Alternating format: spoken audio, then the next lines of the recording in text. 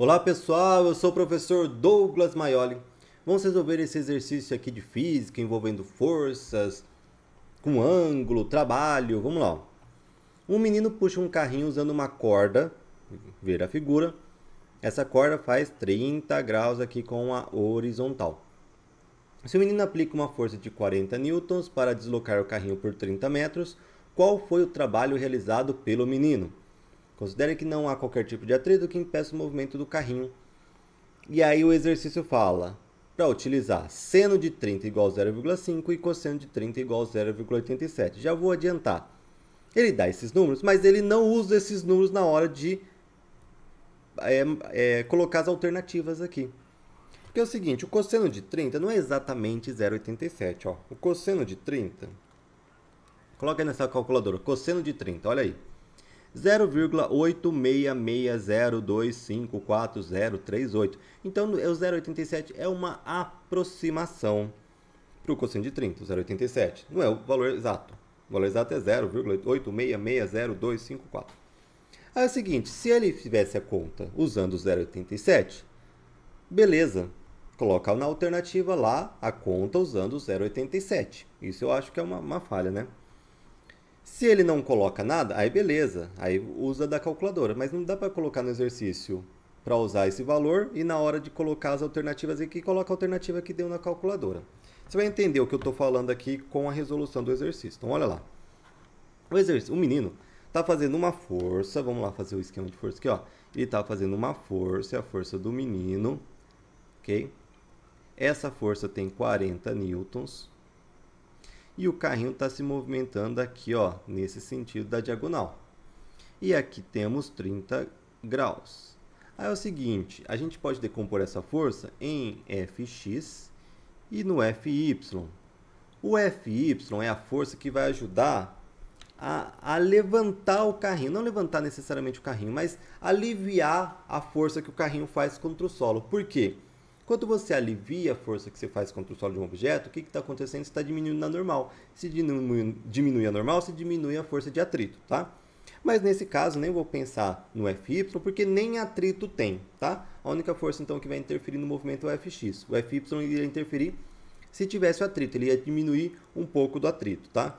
Mas no caso do atrito, eu vou pensar só no Fx. Como que eu penso no Fx? Como calculo o Fx? Aí é o seguinte, aqui ó, a gente tem aqui um triângulo retângulo, né? No triângulo retângulo a gente tem o seguinte, que o cosseno de um ângulo, θ, no caso, vai ser o cateto oposto sobre a hipotenusa, cateto adjacente, desculpa. O cosseno vai ser o cateto adjacente sobre a hipotenusa? Sim. Se eu pegar aqui o 30 graus, o cosseno de 30 graus aqui vai ser o cateto adjacente ao 30 graus, que é o fx, sobre a hipotenusa, que é o f. Tá? Esse f aqui, na verdade, seria o módulo do f, né? Então, por isso que eu não tô, poderia colocar também desse jeito, né? Para ficar certinho o módulo do f, tá? Mas eu estou chamando o f módulo de f. Eu passo o f para lá multiplicando, beleza. Eu achei que o fx é cosseno, f vezes cosseno de 30. Então, olha lá. Vamos parar aqui ó, um pouco. fx igual a f vezes cosseno de 30. Se eu usar o que o exercício deu, cosseno de 30, vai ser o seguinte, fx vai ser a força F, vamos colocar já a força F, qual que é a força do, do que está fazendo? 40 newtons, 40 newtons, vezes cosseno de 30, que é 0,87, tá? 40 vezes 0,87 dá 34,8, tá? Então, fx 34,8 newtons, tá? Esse é o Fx, utilizando esse cosseno que o exercício deu, tá? Mas ele não quer essa força, ele quer o trabalho, tá? Então o trabalho vai ser o quê? Vou até mudar de cor.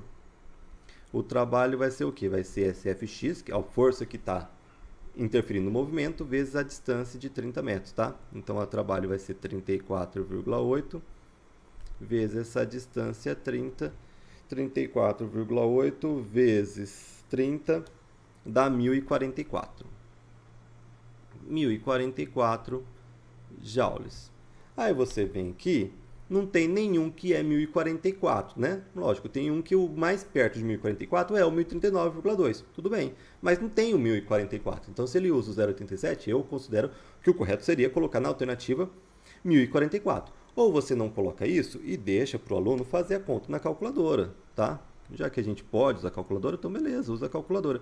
Isso daqui, ó, geralmente é mais para vestibular, por exemplo, né? Porque a pessoa não tem para calcular o cosseno de 30 aqui na calculadora. Então você dá um valor aproximado para ele fazer a conta ali no papel mesmo, né? Mas no caso a gente tem calculadora, então não tem problema. Agora, e se a gente fosse calcular isso daqui na calculadora, que fosse 40 vezes o cosseno de 30 na calculadora. Não vou arredondar, vou usar o próprio cosseno de 30 na calculadora, tá? Então vamos lá. Cosseno de 30 da calculadora vezes 40. Da calculadora tem uma aproximação maior. Dá, ó, 34,64. Agora, se eu pegar o trabalho, que vai ser essa força vezes o deslocamento, o trabalho vai ser o quê? Essa força que é 34,64 vezes 30. Então lá, 34,64 vezes 30 dá 1039,23, né? Aí dá o 1039,2, 1039,2. Outra coisa também que eu acabei de ver errada, né? É joules, né? Trabalho é variação de energia. Então, trabalho não é em Newton, é em joules, tá?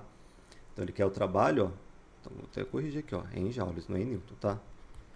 Trabalho, força é em Newton. Trabalho não, é em joules. Então, beleza. A resposta que está no gabarito é essa daqui, que de fato a gente chega no 1039,2 usando a calculadora que tem várias casas aí que ele usa decimal. Mas se a gente usar 0,87, que é aproximando, arredondando ali na segunda casa decimal, né? A gente chegaria no 1044, né? Beleza, daria para responder por aproximação, mas sem certeza do aluno, vamos, ter, vamos dizer assim, tá? Mas a resposta a gente eu fiz pelos dois jeitos, tá? Usando o 0,87 e usando a calculadora que é redonda com mais casas decimais, tá? 1039, 1044, qual que é a diferença? Ah, um, esse está errado ou esse está errado? Esse está certo? Não, não tem certo e errado. Esse tem uma aproximação com duas casas decimais, esse também tem aproximação com mais casas decimais, mas esse daqui também tem um erro de aproximação, assim como esse, tá? Só que esse tem um erro menor de aproximação. Mas os dois está certo, não tem como dizer se um está certo ou errado, né? Lógico que quando a gente vai aplicar, a gente sabe qual que é, se ah, duas casas decimal é um erro grande para minha aplicação, preciso de um erro menor. Beleza, quando a gente vai aplicar, a gente tem que saber qual que é o erro que a gente pode aceitar, um erro aceitável, tá? Mas no caso, teoricamente, os duas contas está certo, porque as duas têm erros apenas erros de aproximação. E erro de aproximação a gente vai ter, aí tem que acostumar. Aí isso daí não tem como a gente fugir, tudo bem? Mas espero que tenham gostado aí do vídeo. Abraços e bons estudos a todos.